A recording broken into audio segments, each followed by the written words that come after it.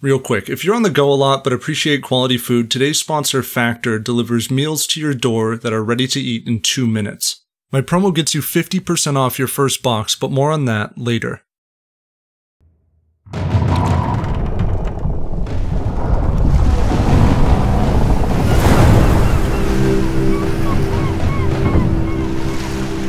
Sails appear as if out of the deep. With a burst of guns, a tide of Englishmen pounds onto the beach. The Spanish flee inland.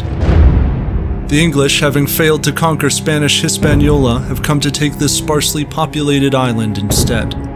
Spain had claimed Jamaica in the days of Columbus, promptly enslaving the indigenous Taino people. As disease and maltreatment began to kill nearly all of this population, the Spaniards turned increasingly to enslaved Africans.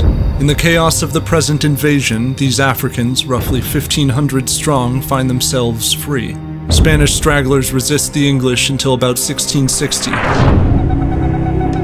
But the liberated Africans continue to fight from the shadowed woods. The Spanish had called such African and indigenous runaways cimarrones, meaning wild or untamed. The English called them maroons.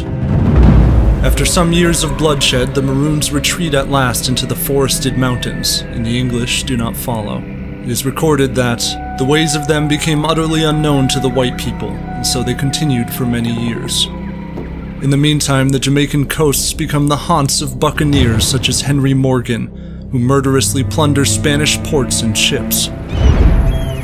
Clergymen decry the Jamaican city of Port Royal as a profane and ungodly haven for pirates and prostitutes. The great wickedness does indeed enter through the southern docks of Jamaica. Yet it is not the dwindling ranks of buccaneers, but the foul blight of slavery. Withered survivors of the transatlantic voyage are prodded ashore, sold, and forced onto plantations. The enslaved population, which counted 550 Africans in 1662, numbers 45,000 around the turn of the century. Many die from disease and overwork in the scalding, injurious labor of sugar production, and this industry is maintained by heinous violence. One pro slavery writer notes for crimes of lesser nature, castration, or chopping off half of the foot with an axe. For negligence, they are usually whipped by the overseer. After they are whipped till they are raw, some put on their skins pepper and salt. Rebellion incurs the punishment of being burned alive slowly. And yet, it is known by all that in the mountains there live those whose very existence defies this order. Runaways and the survivors of frequent slave rebellions have often joined them or formed their own bands in the wilderness and on occasion, often in the quiet hours of the night, the Maroons return to the plantations.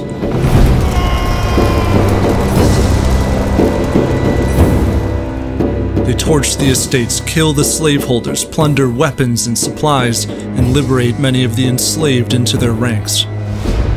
For in the Blue Mountains lies a place called Nanny Town, home to hundreds of Maroons.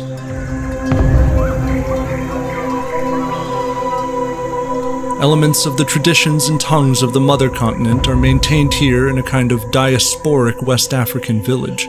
Women plant yams and plantains, and men hunt wild hogs, and their children are born free. The leaders and warriors answer to the spiritual counsel and wisdom of a maroon elder called Nanny. Her town, together with outlying maroon villages, constitute the Windward Band of Maroons. In the west are the Leeward Maroons, under the stern leadership of a man called Cudjoe. Many Maroons are from the Akan speaking region of the Gold Coast, first taken captive and sold during wars against rival African coastal powers. Thus, the Maroons are well acquainted with war. They traverse the Jamaican hills with signaling horns, brandishing spears or stolen guns and swords.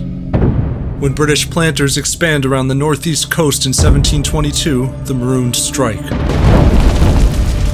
Plantations are burned and deserted, enslaved Africans are inspired to rebel or run away. Maroon raids continue for years with hardly any retaliation. The British Crown sends regiments of professional soldiers in 1730 the militia and military alike must face the mountains, where they flounder down false trails into traps, only to be ambushed by Maroons who vanish again into the woods.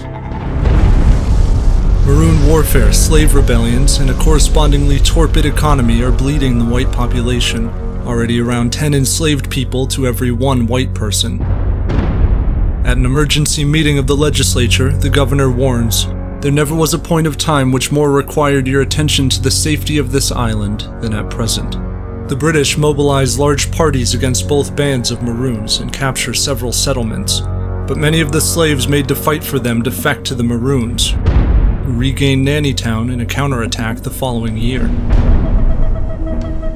The underground rebellion is all around the planters, in the trees, in their very homes. The enslaved listen and pass intelligence about British plans to Maroon scouts. The Windward Maroons, themselves oath sworn in loyalty to Nanny, sense war. 400 troops, including 100 professional soldiers, advance toward Nannytown. One division moves to block the rear exit, but the Maroons ambush them and chase them off. The remaining 300 march on. The Maroons suddenly appear from behind trees and rocks, shouting, shooting, and massacring the front lines. Hysteric British fall back. Following this triumph, rebellions spring up across the island, and runaways join the Maroons in droves. The legislature of Jamaica concedes that the Maroons have grown in power. To the great terror of His Majesty's subjects, they plundered all around them and caused several plantations to be thrown up and abandoned, to the diminution of His Majesty's revenue. A planter writes that, The rebels got the better of all our parties. Our men dare not look them in the face in the open ground or in equal numbers. But in 1734, a large British force quietly scales the high, narrow path to Nannytown and bombards the huts with small cannons. Maroons flee the burning village. In the ensuing skirmishes, Maroon warriors take the lives of 80 of the attackers. But Nannytown is lost the Windward Band disperses to other hideouts. Some make a long trek to Cudjoe in the west, but the prickly and vigilant chief will not risk harboring those not under his direct authority. He turns them back. And for years there is quiet, the planters recovering some sense of security until the Windward Maroons resume the fight in 1737. The British, possessing neither the means nor the will to conquer the mountains, resolve to make peace. Representatives first go to Cudjoe and the Leeward Band with gifts and hostages. The terms of their proposal grant the Leeward Maroons ownership and authority over all the land around their settlements, 1,500 acres, and the right to hunt almost anywhere and trade in colonial towns. At last, freedom and safety. The price of this victory is that the Leeward Maroons must assist the British in putting down rebellions and invasions, and that from this moment on, any runaway slave who seeks refuge with or encounters the Maroons is to be captured and returned to the slaveholders. Cudjoe signs the treaty in 1739. Some of his men revolt at this apparent betrayal of the enslaved. They attempt to foment a rebellion on the plantations, but Cudjoe has the leaders of the plot arrested and personally oversees the executions of two of them.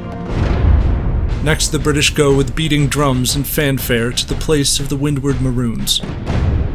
Nanny's people have long held the British in contempt. One observer notes that their women wear necklaces strung with the teeth of His Majesty's subjects. But the prospect of war against both the British and Cudjoe's Maroons effectively forces them to sign a similar treaty. No longer can the enslaved look to the hills for liberation. The British have helped turn their old allies against them, and in so doing preserved the slave state. Ships arrive with appalling frequency. The number of enslaved people in Jamaica approaches 300,000 over the course of the century. The cry for freedom grows louder, but massive slave revolts are brutally suppressed with the aid of maroon warriors.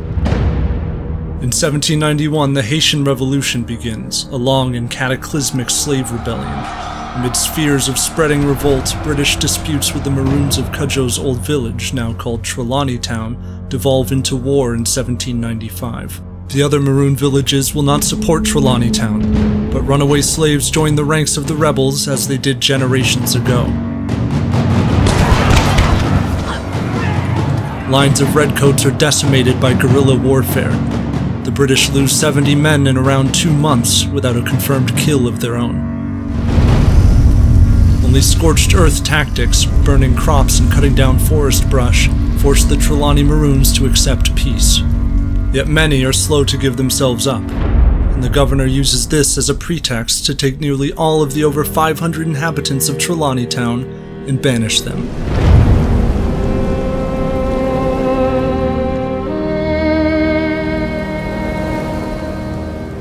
The first winter is one of the worst on record.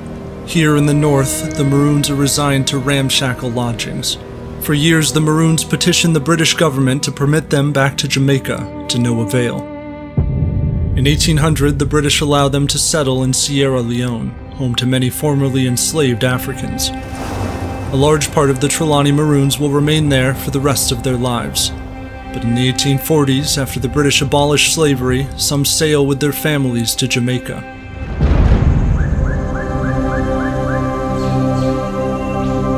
For the eldest among them, it's a return to the island of their childhood.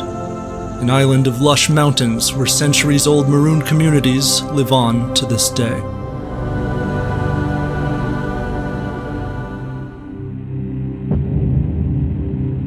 When Joe's making art like this, or when I'm researching or writing, we're in the flow. I want something that's quick to eat but not empty or low quality. Factor solves this perfectly. You get a box full of varied, balanced, and nutritious meals. It takes two minutes to prepare, and bam! I had spinach and mushroom chicken thighs first, and it was great. No trip to the grocery store prepping, chopping, or cleanup, just a quick to make, satisfying meal. The meals themselves are fresh and never frozen, and right away you can tell the ingredients are quality. I love that you get 35 meals to choose from each week, so if you have specific diet preferences or goals, you'll find the meals for you. Factor is now owned by another channel sponsor, HelloFresh. I love switching between the brands, and now you can enjoy both brands at a discount with me. Head to factor75.com or click the link below and use promo code HistoryDose50 for 50% off your first Factor box.